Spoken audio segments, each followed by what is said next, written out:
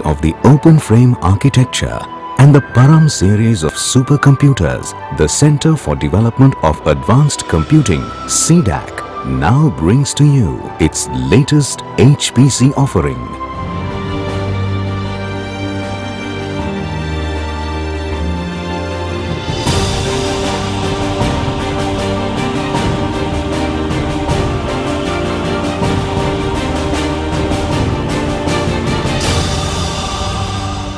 The Param Shavak.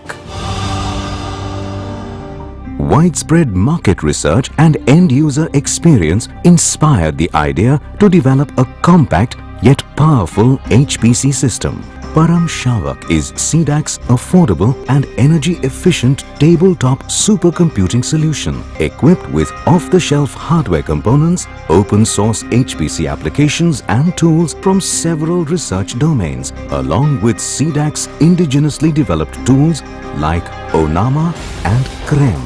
Param Shavak can be deployed for performing high-end computations for scientific research, engineering domains as well as academics, delivering up to 3.2 teraflops of computational power. It is a ready-for-use supercomputer with no additional data center infrastructure requirements. Param Shavak is a hybrid solution equipped with two Xeon processors having a minimum of 10 cores each and two Intel Xeon Phi or NVIDIA GP GPU accelerator cards.